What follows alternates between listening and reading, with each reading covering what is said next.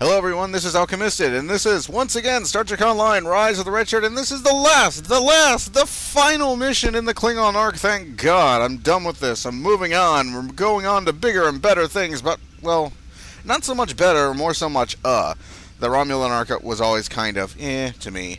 It was always sort of like this big space where you dealt with a whole bunch of stuff that happened, but none of it really felt, there was no real cohesive connection. Hopefully that's changed uh, especially now that Cloaked Intentions is part of the Romulan arc, which screws around with the storyline of Cloaked Intentions a bit. Neither here nor there. But first things first. This episode's going to be a bit different. That is because this episode features something that is unique in Star Trek Online. Something that is not in any other mission in the game. And that, my friends, is a Scotsman. Aye! A Scotsman from Linlithgow, and I do hope I pronounced that right. But if you happen to be Scottish and you hear my impersonation of how you sound, and you happen to be a bit offended by it, you have my heartfelt apologies.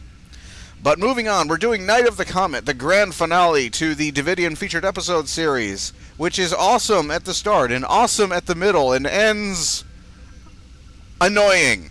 But we'll get to that when we get to it. First, let's hear the briefing. Down, down, down. Night of the Comet. I like that sound. It sounds like there's going to be zombies in here. There's not. Shit.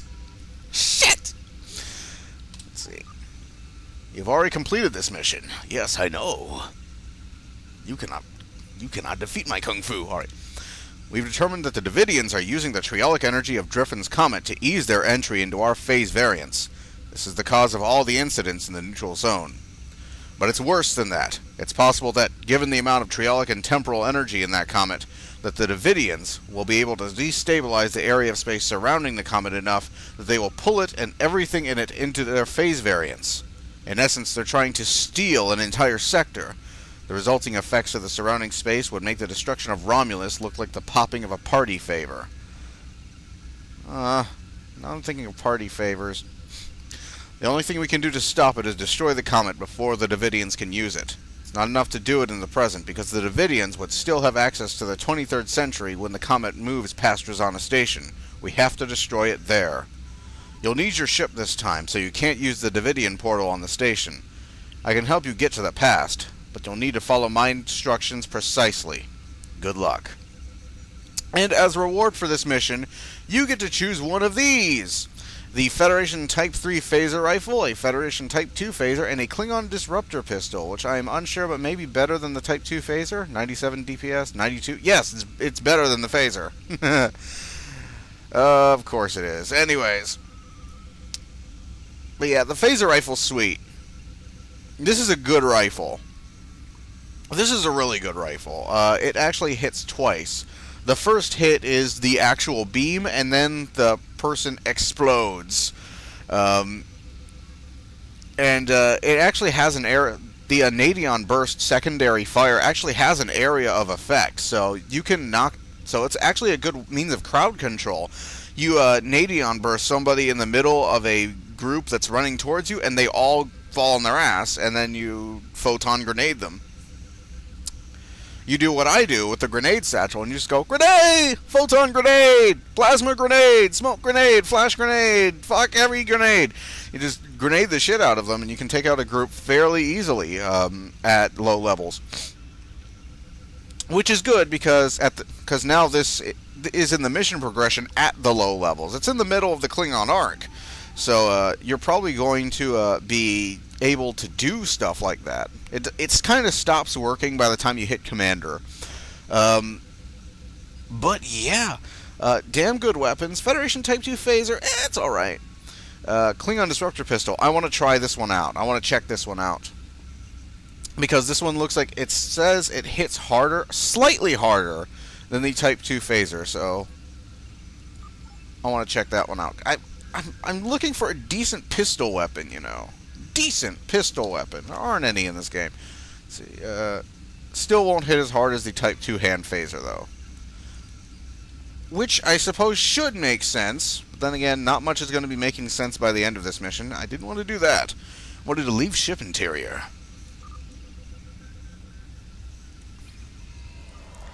Follow my instructions exactly, he says. Whatever. No K7 operations. No K7 operation. No, no! I don't want to dock right now. I can't dock right now. I have things to do. That sounded really wrong.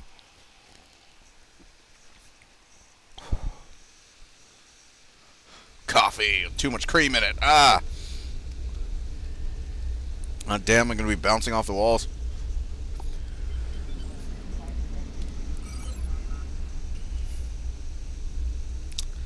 So, uh, you are not my primary, though. You need to be my primary. When you accept a mission, it's really annoying. It should, like, go up to your, as your primary. Go to Bepi 113 system. It's over there. So, there is a transwarp button that is being added to the game. Whoa, Carrot. Carrot's always a clusterfuck. Um, there is a transport button that's being added to the game that allows you to instantly go to where the system or your next mission takes place. And if you're in that sector block, perhaps it'll take you in system as well. This is something that I've uh, that I think I read on the patch notes on the Tribble server. It would be nice. It would be nice to not have to trek across the uh, across the sector blocks. But then again, uh,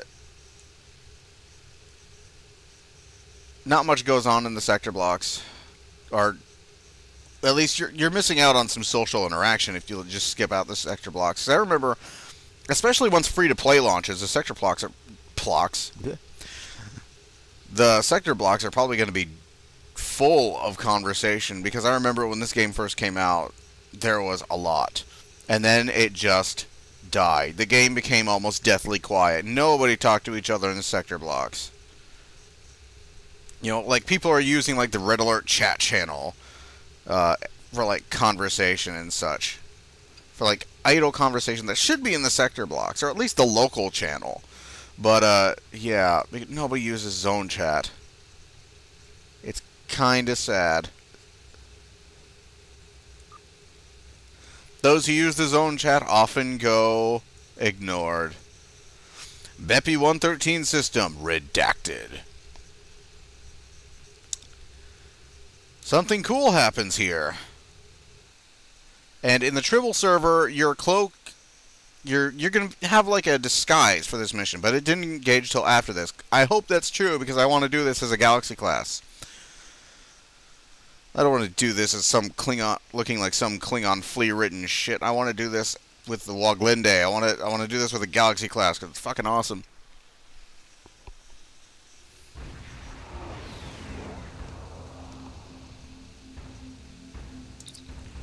Incoming hail, oh, Captain. You want me to put it on the main view screen? On screen.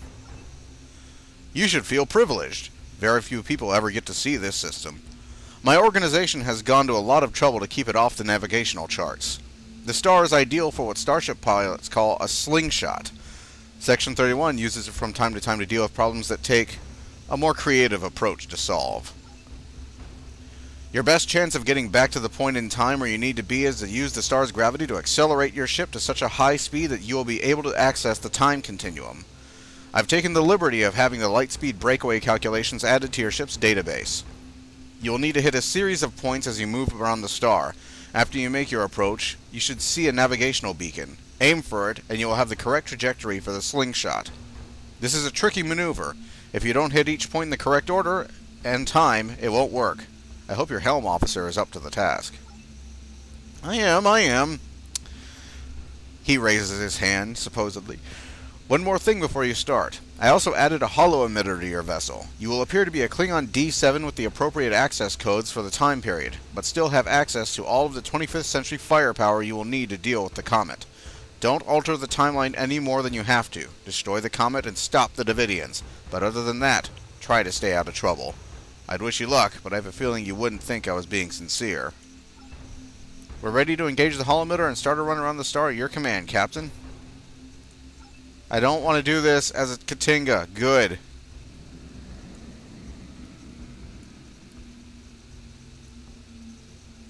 Good. I want to do this as a galaxy because this is fucking awesome. So when I first did this, I kept trying to do it because I use I fly my ship with WASD, and you've probably seen it being a little jerky sometimes. That's why. And I kept trying to do this with WASD, and I couldn't fucking do it. I couldn't fucking do it, Captain. That was terrible. Sorry. Uh, I couldn't fucking get it to work. I was like, what the fuck, man? I can't get this to work. So eventually, I tried. I decided to try using the mouse, and the mouse uh, was fluid enough to keep the ship on track throughout all of these rings. So when you're going through here, keep that in mind. Don't use the WASD keys. Use the mouse. The mouse will make it so much easier to get through here. Alright. This, before I attempt this, this was introduced in uh, the original series, and I'm unsure which episode it was. Was it Tomorrow is Yesterday?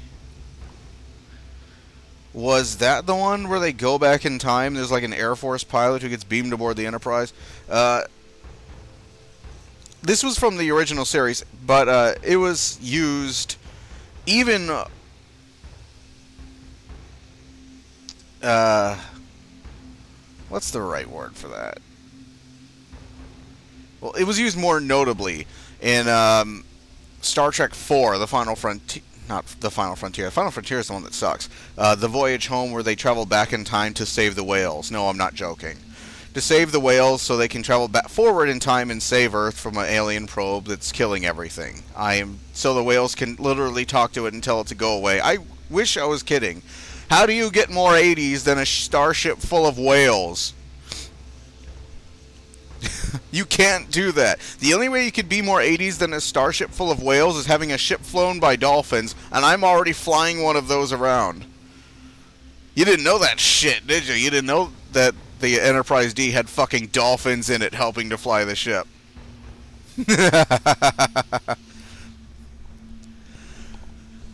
yeah, alright. Let's put these dolphins to work.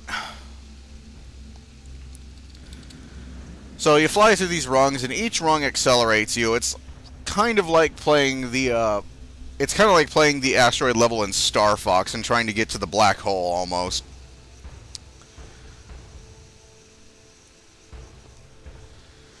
And you're going to go faster and faster. And unless you're using the mouse, using the WASD keys, unless you have really, really fucking great turn rate, you're not going to be able to do it. And even if you do have a fucking great turn rate, it's very easy to go bouncing into the star. We don't want to do that.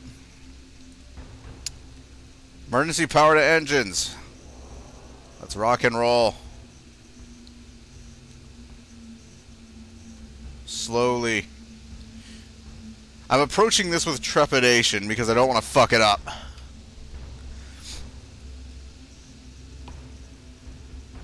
Hello, Gatotsu. Stop distracting me, Gatotsu. Daddy's got work to do. Here we go. There we go. I'm gonna fuck with this timeline so bad.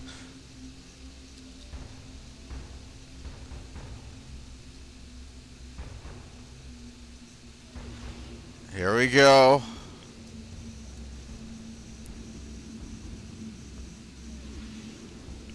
Uh.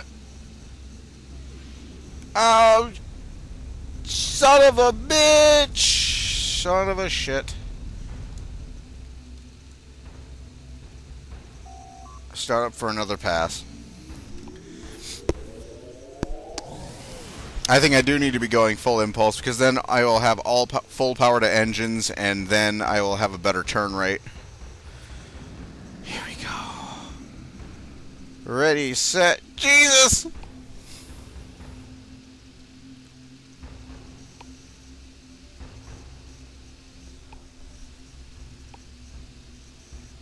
I'm not I'm not doing that.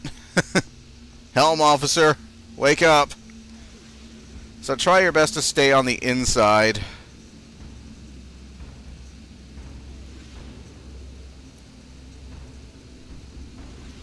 Here we go. There we go. Yeah, I needed full power to engines.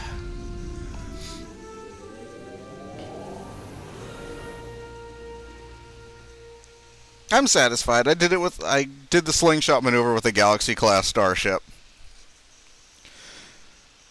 Like I said, this mission begins awesome.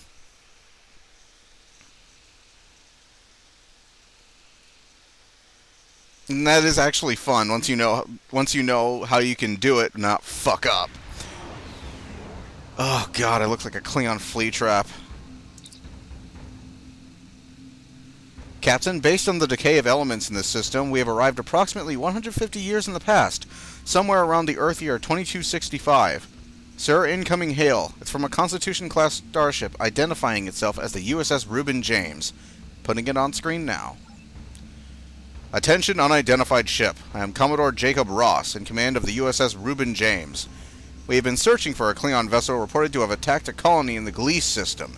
You fit the description of the ship we are looking for. Oh, fuck. Thank you, Drake. Jesus Christ. Unless you can prove that you are not, we will take immediate action. Captain, the Reuben James has closed the channel. They are not responding to hails and weapons are charging. We cannot seriously damage Commodore Ross's ship without risking damage to the timeline, but we must defend ourselves and complete our mission. Recommend we fight to disable. Got it. Thanks, Drake, you son of a bitch.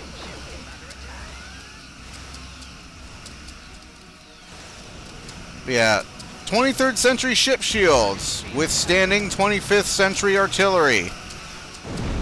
Something doesn't make sense here. And oh, this is just the beginning for this mission.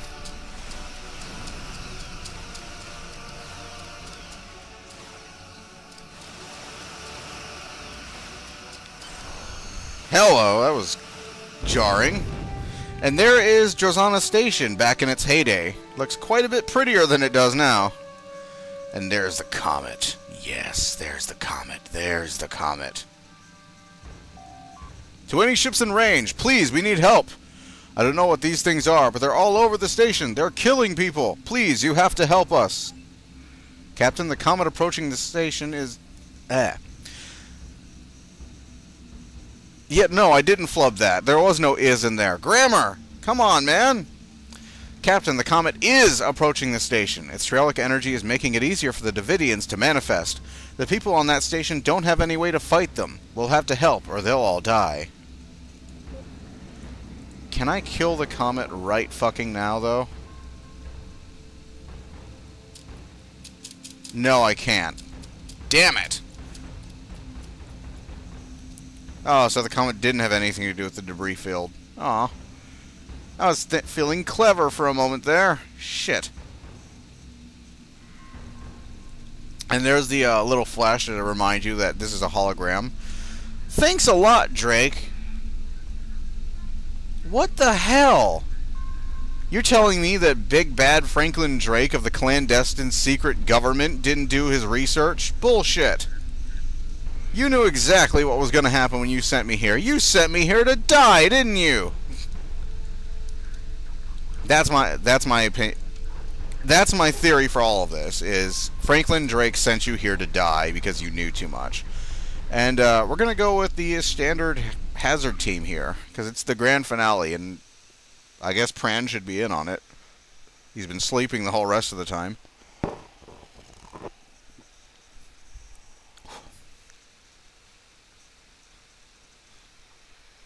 Coffee.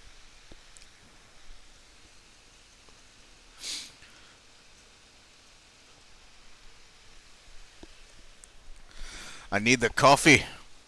Alright, come on, load. Jesus, it's like a Tribble test server. Captain, I'm reading multiple Devidian life signs. We will need to work quickly to clear the station of their presence. Alright. Oh shit.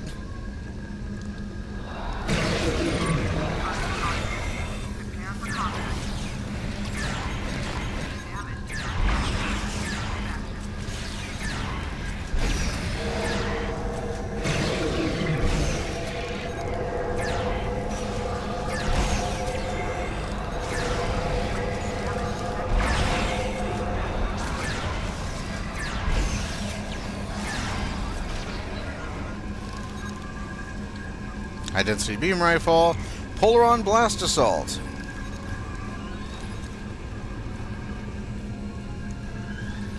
You know what, 8? I am going to give you Locke's anti-proton rifle for a moment and see how effective that is. Kind of a this is just a theory I want to test. Is this a little bit more effective against them? Okay, you can carry eights. Phaser rifle, shotgun. Alright. So this next area is full of people. Jesus Christ, Chug. Sir, I don't think anyone here has appreciated the Devidians crashing their party. I'm detecting weapons fire, broken glass, and signs of a struggle. It's a bar fight, sir, and we'll need to quell it if we want any chance at stopping the Devidians. The Temporal Prime Directive is in, in effect, sir. Recommend we set all weapons to stun to minimize possible damage to the timeline.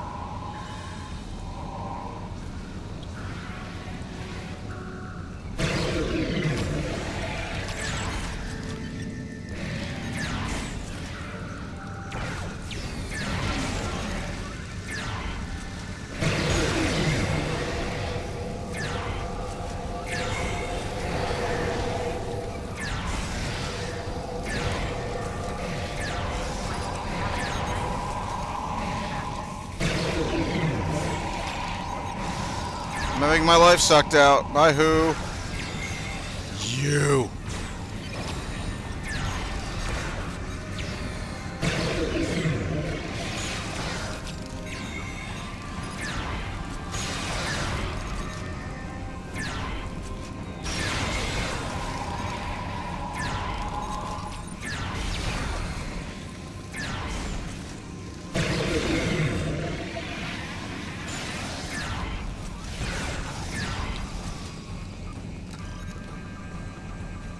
There we go.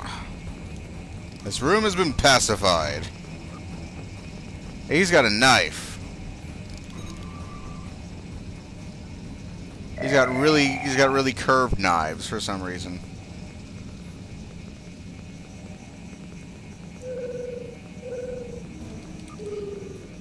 Tetryon split beam rifle. What the hell is that doing in the 23rd century?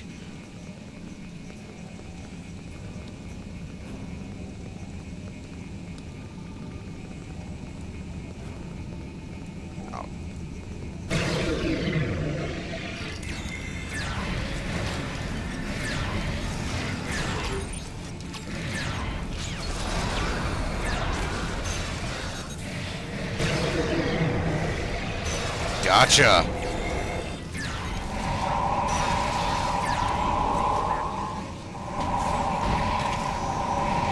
Yeah, kicking the ghost didn't do anything.